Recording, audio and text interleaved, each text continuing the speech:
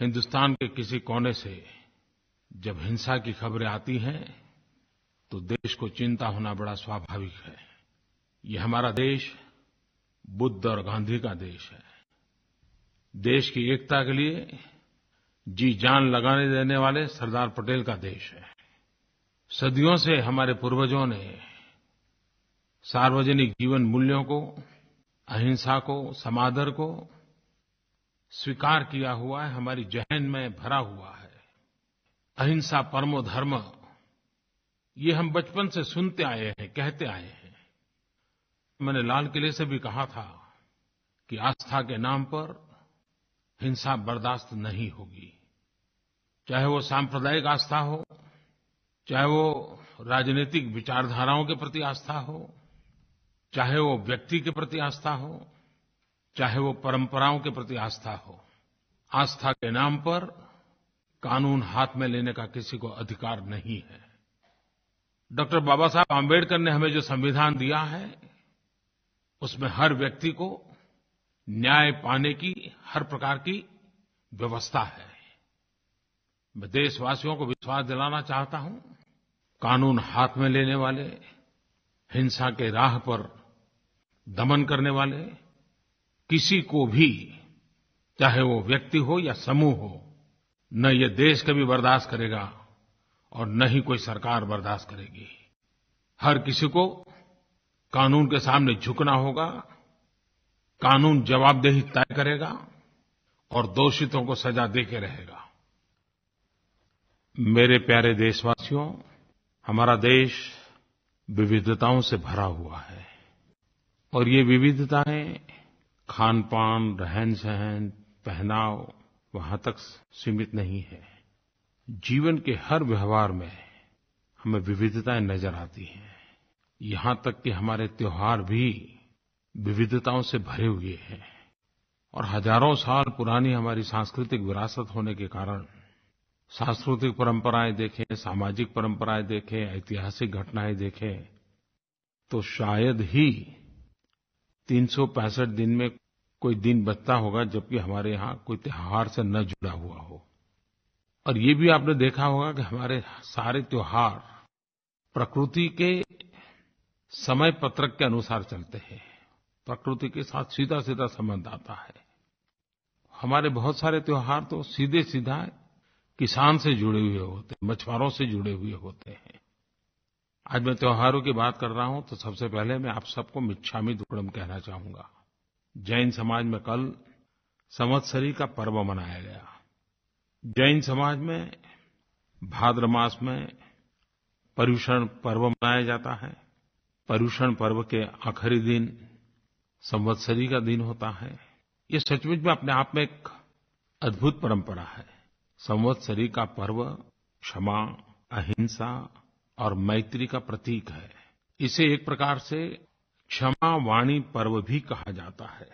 और इस दिन एक दूसरे को मिच्छामी दुक्कड़म कहने की परंपरा है। वैसे भी हमारे शास्त्रों में क्षमा वीरस्य भूषणम, यानी क्षमा वीरों का भूषण है। क्षमा करने वाला वीर होता है। ये चर्चा तो हम सुनते ही आए हैं।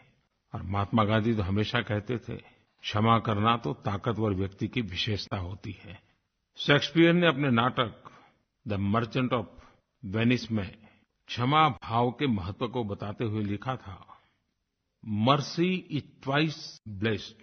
It blessed him that gives and him that takes.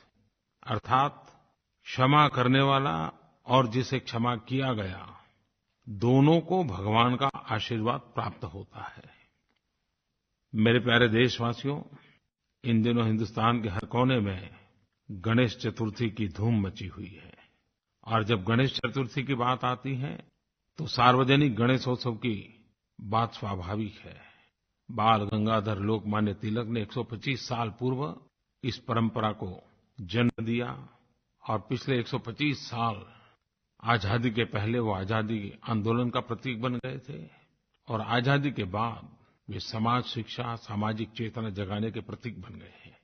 Ganesh Chaturthi का पर्व 10 दिनों तक चलता है। इस महापर्व को एकता, समता और शुचिता का प्रतीक कहा जाता है। सभी देशवासियों को गणेशोत्सव की बहुतबहुत शुभकामनाएँ। अभी केरल में ओणम का त्योहार मनाया जा रहा है। भारत के रंगबिरंगे त्योहारों में से एक ओणम केरल का एक प्रमुख त्योहार है। ये पर्व अपने सामाजिक और सांस्कृतिक महत्व के लिए जाना जाता है।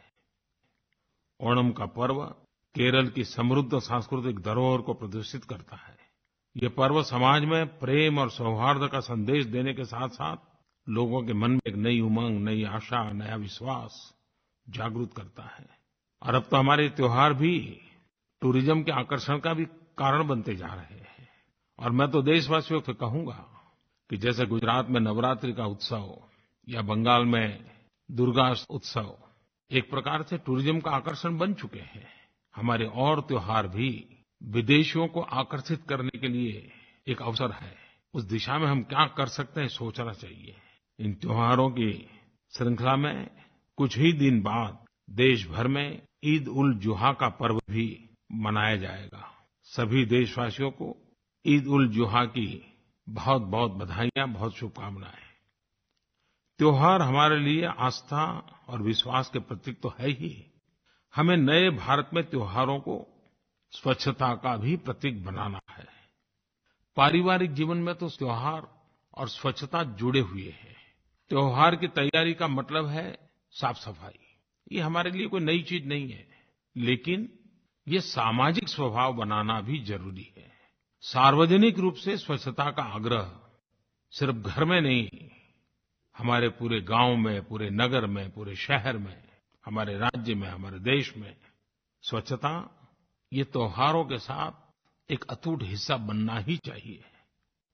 मेरे प्यारे देशवासियों, आधुनिक होने की परिभाषाएँ बदलती चली जा रही हैं। इन दिनों एक नया डायमेंशन, एक नया पैरामीटर आप कितने संस्कारी हो, कितने आधुनिक हो, आपकी थॉट प्रोसेस कितनी मॉडर्न है, इसे जानने में एक तराजू भी काम में आने लगा है। और वो है एनवायर्नमेंट के प्रति आप कितने सजग हैं। आपकी अपनी गतिविधियों में इको फ्रेंडली एनवायर्नमेंट फ्रेंडली व्यवहार है कि उसके खिलाफ है। समाज में अगर उसके खिलाफ है तो आज बुरा माना जाता है। और उसी का परिणाम मैं देख रहा हूँ कि इन दिनों ये गणेशोत्सव में भी इको फ्रेंडली गणपति, मानो एक बड़ा अभियान खड़ा हो गया है।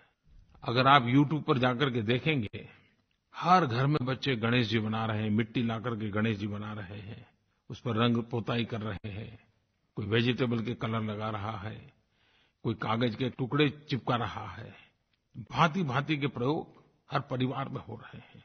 एक प्रकार से एनवायरनमेंट कॉन्शियसनेस का इतना बड़ा व्यापक प्रशिक्षण इस गणेशोत्सव में देखने को मिला है। शायद ही पहले कभी मिला हो। मीडिया हाउस भी बहुत बड़ी मात्रा में इको फ्रेंडली गणेश की मूर्तियों के लिए लोगों को प्रशिक्षित कर रहे हैं, प्रेरित कर रहे हैं गाइड कर रहे हैं। देखिए कितना बड़ा बदलाव आया है और ये सुखद बदलाव है। और जैसा मैंने कहा, हमारा देश करोड़ों करोड़ों तेजस्वी दिमागों से भी भरा हुआ है। और बड़ा अच्छा लगता है जब कोई नए नए इनोवेशन जानते हैं। मुझे किसी ने बताया कि कोई एक सज्जन है जो स्वयं इंजीनियर है। उन्होंने एक विशिष्ट प्रकार से मिट्टी इकट्ठी करके, उसका कॉम्बिनेशन करके गणेश जी बनाने की ट्रेनिंग लोगों की की।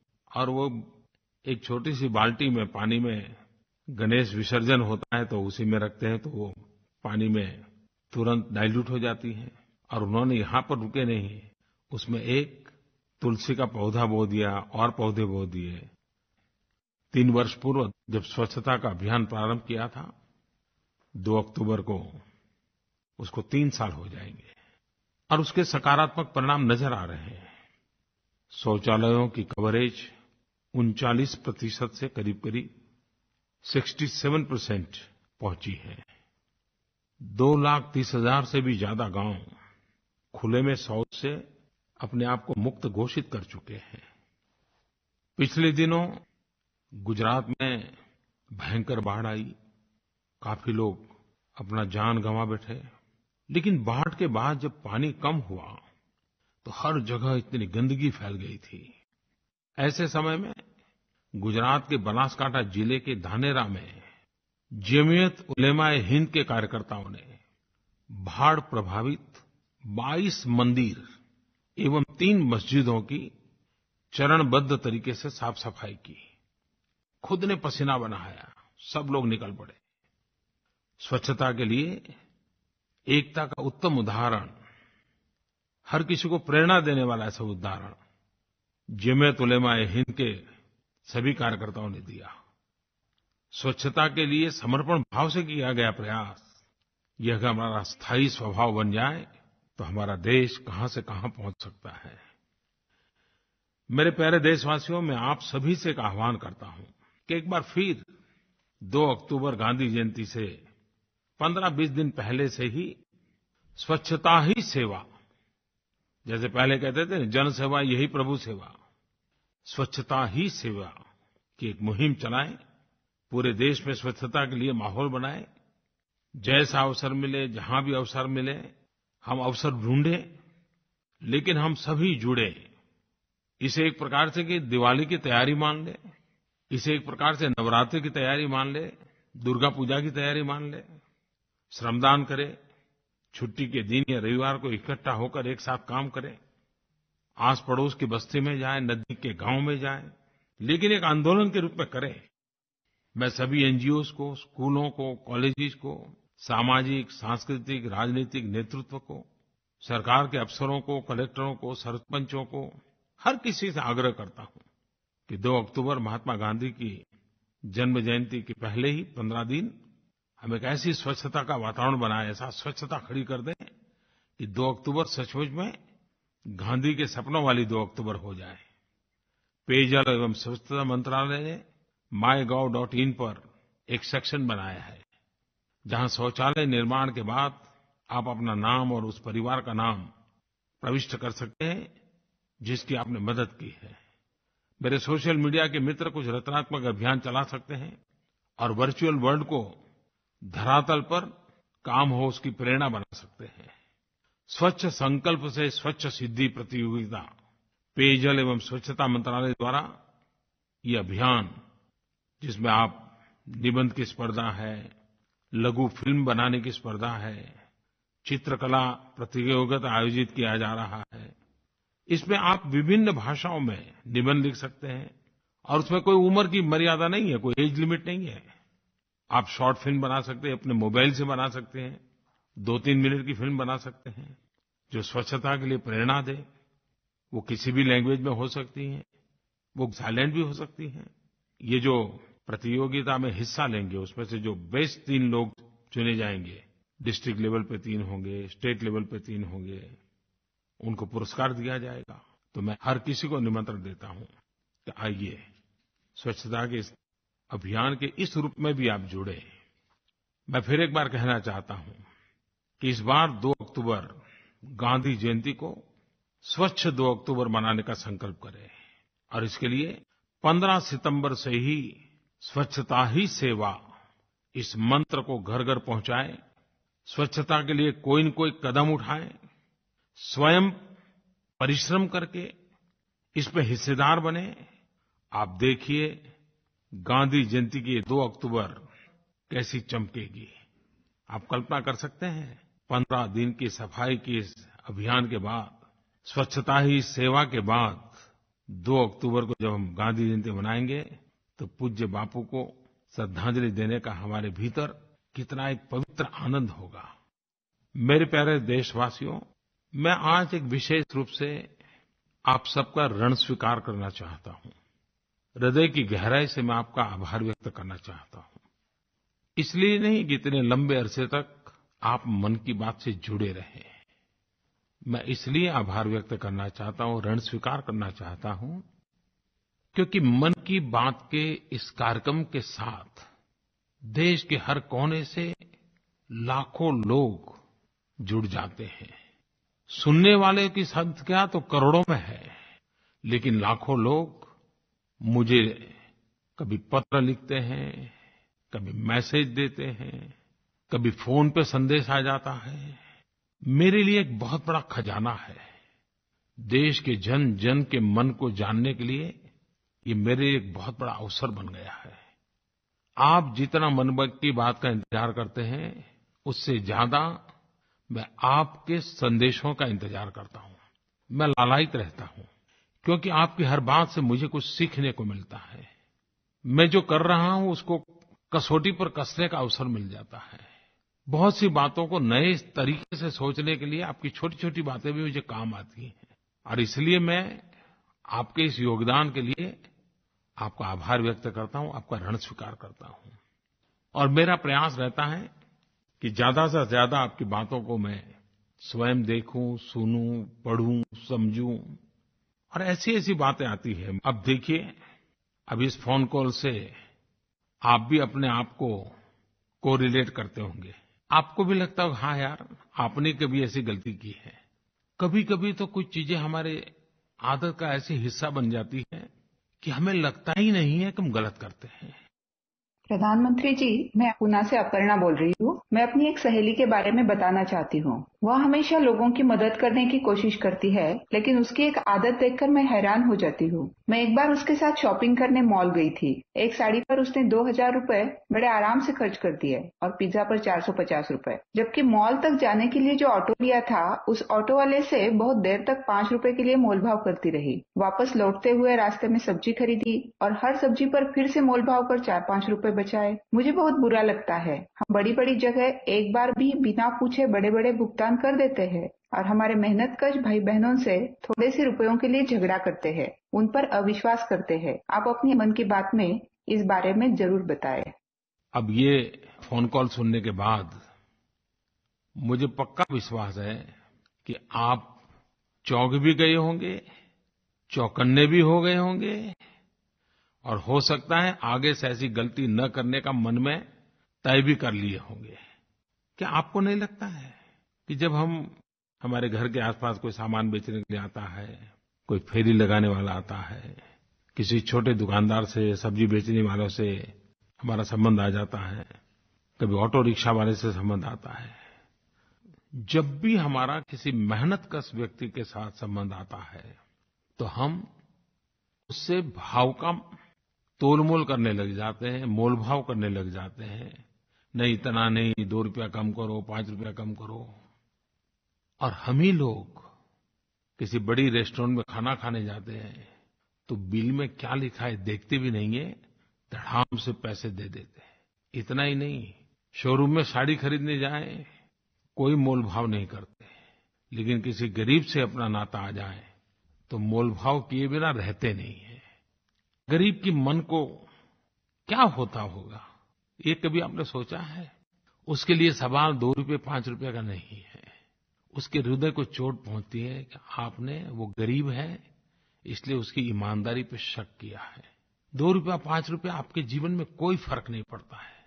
लेकिन आपकी ये छोटी सी आदत, उसके मन को कितना गहरा धक्का लगाती होगी कभी सोचा है। मैडम, मैं आपका आभारी हूँ, आपने इतना हृदय को छूने वाला फ़ोन कॉल किया एक मैसेज मुझे दिया। मुझे विश्वास है कि मेरे देशवासी भी गरीब के साथ ऐसा व्यवहार करने की आदत होगी तो ज़रूर छोड़ देंगे। मेरे प्यारे नौजवान साथियों 29 अगस्त को पूरा देश राष्ट्रीय खेल दिवस के रूप में मनाता है। यह महान हॉकी प्लेयर और हॉकी के जादूगर मेजर ध्यानचंद जी का जन्म दिवस है। हॉकी के लिए उनका योगदान अतुलनीय था।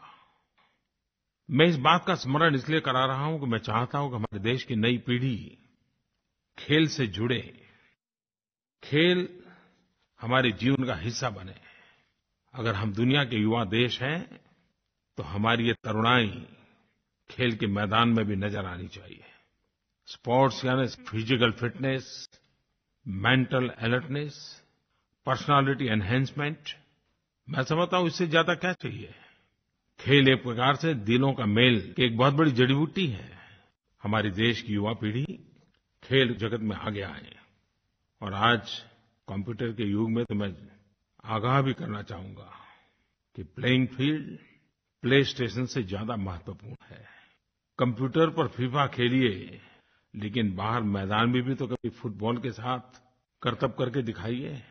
कंप्यूटर पर क्रिकेट खेलते होंगे, लेकिन खुले मैदान में आसमान के नीचे क्रिकेट खेलने का आनंद कुछ और होता है। एक समय था जब परिवार के बच्चे बाहर जाते थे तो माँ पहले पूछती थी, तुम कब वापस आओगे? आज हालत ये हो गई है कि बच्चे घर में आते ही एक कोने में या तो कार्टून फ़िल्म देखने में लग जाते हैं या तो मोबाइल गेम पर चिपक जाते हैं।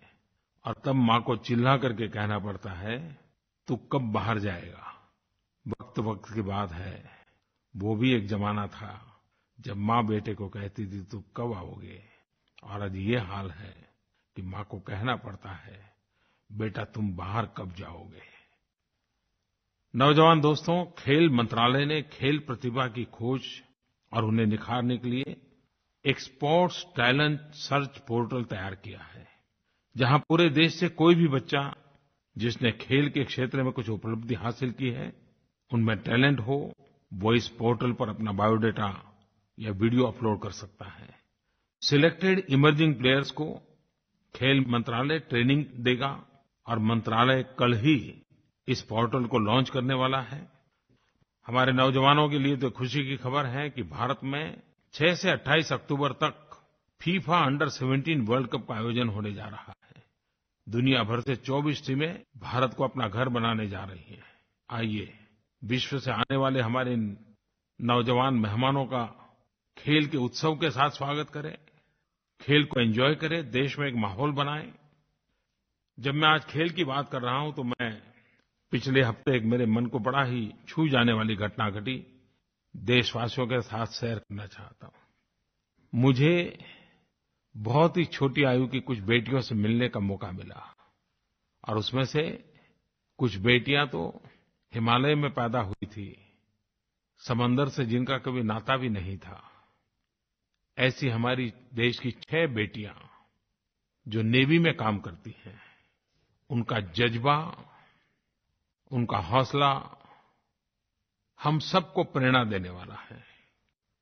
ये छह बेटियाँ एक छोटी सी बोट लेकर के आईएनएसवी तरिणी, उसको लेकर के समंदर पार करने के लिए निकल पड़ेगी। इस अभियान का नाम दिया गया है नाविका सागर परिक्रमा। और वे पूरी विश्व का भ्रमण करके महीनों के बाद, कई महीनों के बाद भारत लौटेगी। कभी एक साथ 40-40 दिन पानी में बिताएगी, कभी कभी 30-30 दिन पानी में बिताएगी।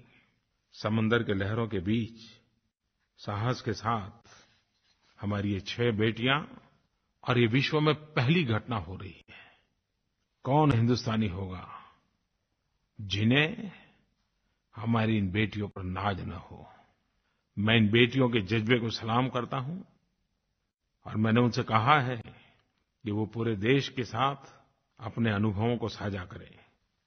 मैं भी नरेंद्र मोदी ऐप पर उनके अनुभवों के लिए एक अलग व्यवस्था करूँगा ताकि आप ज़रूर उसे पढ़ पाएँ, क्योंकि एक प्रकार से ये साहस कथा है स्वानुभव की कथा होगी और मुझे खुशी होगी इन बेटियों की बातों को आपके तक पहुँचाने में।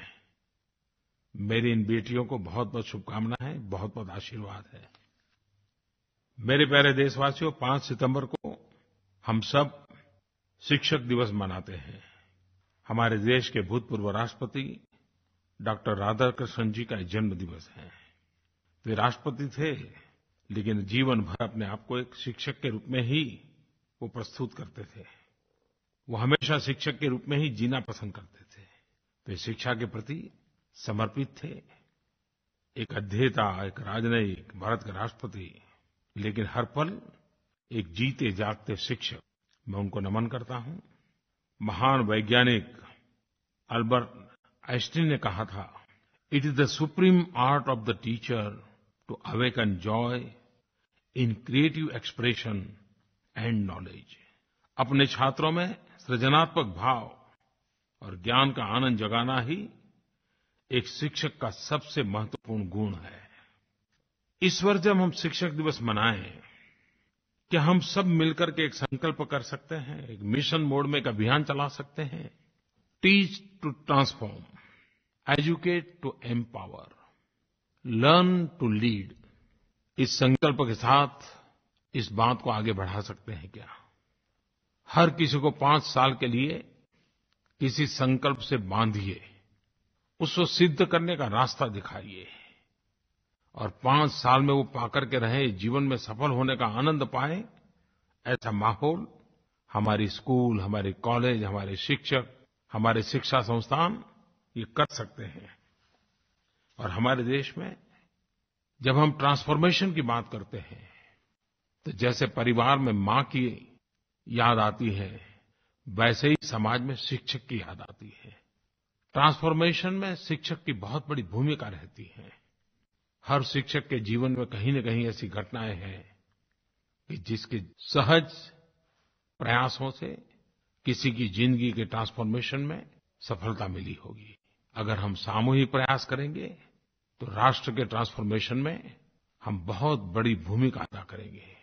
आइए टीच टू ट्रांसफॉर्म इस मंत्र को लेकर के चल पड़े। प्रणाम प्रधानमंत्री जी। मेरा नाम है डॉक्टर अनन्या अवस्थी। मैं मुंबई शहर की निवासी हूँ और हार्वर्ड यूनिवर्सिटी के इंडिया रिसर्च सेंटर के लिए काम करती हूँ। एक रिसर्चर के तौर पे मेरी विशेष रुचि रही है वित्तीय समावेशन या जिसको हम फाइनेंशियल इंक्लूजन कहते हैं। इनसे रिलेटेड सोशल वेलफेयर स्कीम्स को लेकर। और मेरा आपसे प्रश्न ये है कि 2014 में जो जनधन योजना लॉन्च हुई, क्या आप कह सकते हैं, क्या आंकड़े ये दिखाते हैं कि आज तीन साल बाद भारतवर्ष फाइनेंशियली ज़्यादा सिक्योर है या ज़्यादा सशक्त है? और क्या ये सशक्तिकरण और सुविधाएँ हमारी महिलाओं को, किसानों को, मजदूरों को गाँव और कस्बों तक भी प्राप्त हो पाई हैं? धन्यवाद। मेरे प्यारे देशवासियों, प्रधानमंत्री जनधन योजना फाइनेंशियल इंक्लूजन ये भारत में ही नहीं, पूरे विश्व में आर्थिक जगत के पंडितों की चर्चा का विषय रहा है। 28 अगस्त 2014 को मन में एक सपना लेकर के इस अभियान को प्रारंभ किया था। कल 28 अगस्त को इस प्रधानमंत्री जनधन योजना के अभियान को तीन साल हो रहे हैं। 30 करोड़ नए परिवारों को इसके साथ जोड़ा है, बैंक अकाउंट खोला है। दुनिया के कई देशों की आबादी से भी ज़्यादा ये नंबर है।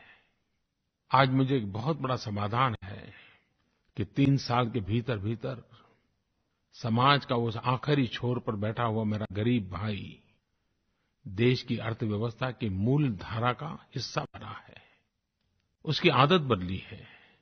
वो बैंक में आने-जाने लगा है। वो पैसों की बचत करने लगा है।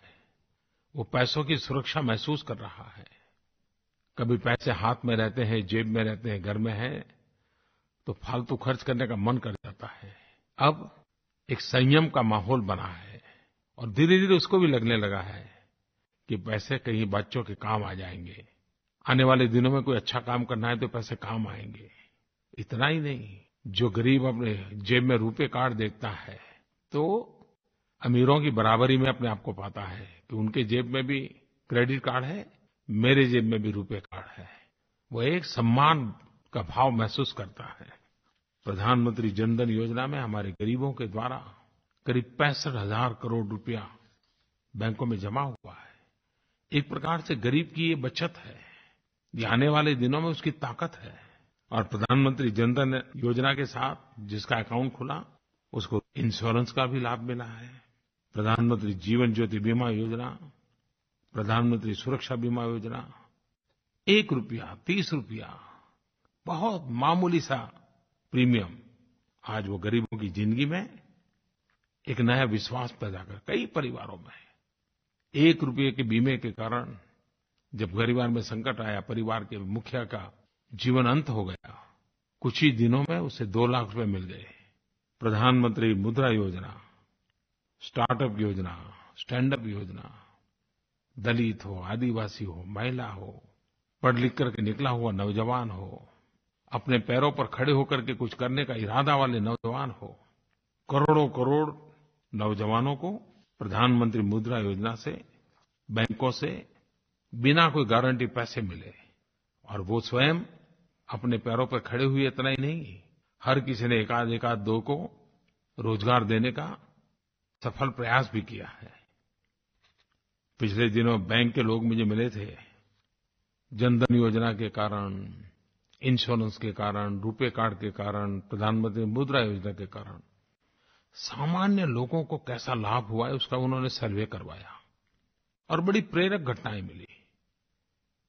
आज इतना समय नहीं है, लेकिन मैं ज़रूर ऐसी घटनाओं को बैंक के लोगों से कहूँगा कि वो MyGovइन पर उसको अपलोड करें, लोग पढ़ें लोगों को उससे प्रेरणा मिलेगी कि कोई योजना व्यक्ति के जीवन में कैसे ट्रांसफॉर्मेशन लाता है, कैसे नई ऊर्जा भरता है, कैसे नया विश्वास भरता है, इसके सैकड़ों उदाहरण मेरे सामने आए हैं। आप तक पहुँचाने का मैं पूरा प्रयास करूँगा। और ऐसी प्रेरक घटना है कि मीडिया के लोग भी इसका पूरा लाभ उठा सकते हैं। वे भी ऐसे लोगों से इंटरव्यू करके नई पीढ़ी को नई प्रेरणा दे सकते हैं।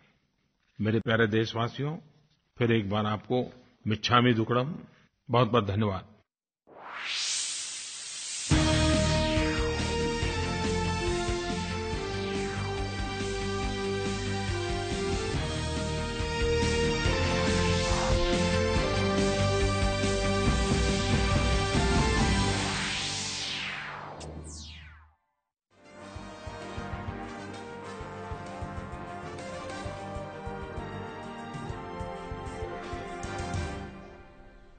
नमस्कार, हमारे इस विशेष प्रसारण में आप सभी का स्वागत है। मैं हूँ रमा त्यागी। आप देख रहे थे प्रधानमंत्री की मन की बात का पैंतीसवां संस्करण, जिसमें एक बार फिर से प्रधानमंत्री ने बेहद अहम विषयों को अपनी विशिष्ट शैली में सहज अंदाज में आमजन के सामने रखा। स्पष्ट तौर पर प्रधानमंत्री ने कहा कि हिंसा को किसी भी सूरत में बर्दाश्त नहीं किया जाएगा। विविधताओं से भरे देश में जीवन मूल्यों की उपयोगिता, सामान्य व्यवस्था बनाए रखने के लिए कानून का महत्व, त्योहारों के संकेत और संदेश, उनसे प्रेरणा लेकर स्पंदित होता जीवन और उस प्रेरणा को कैसे जन आंदोलन बनाया जाए जिस